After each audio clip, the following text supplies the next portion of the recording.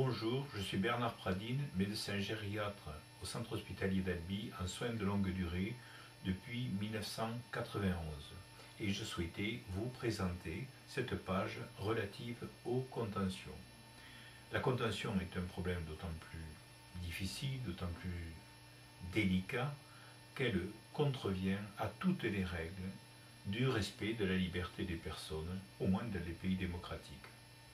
Il convient donc de limiter au maximum ces contentions et de laisser au maximum euh, la liberté euh, d'aller et de venir et de mouvement des personnes.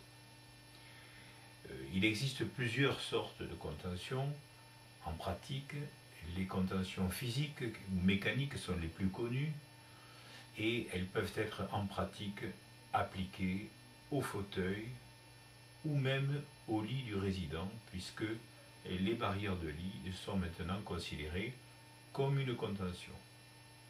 Il n'y a pas, malheureusement, que les contentions physiques et mécaniques, mais aussi les contentions architecturales, à savoir le fait de confiner une personne dans un espace réduit de manière à, par exemple, l'empêcher euh, d'aller euh, perturber euh, d'autres résidents ou de partir de l'institution pour revenir chez soi. C'est souvent la première raison de fugue. Il y a aussi des contentions qu'on peut qualifier de pharmacologiques, à savoir qui utilisent des médicaments, et en particulier des médicaments qui ont une action psychotrope, de manière à tranquilliser, mais aussi à limiter la capacité de réaction de la personne.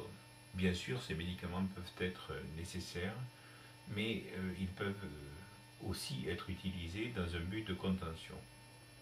Et puis il y a également les contentions psychologiques, peut-être moins connues, moins citées dans la littérature, mais qui n'en existent pas moins, qui sont des injonctions répétitives de l'ensemble des personnes qui sont rencontrées par euh, la personne désorientée et qui euh, consiste à la faire tenir tranquille.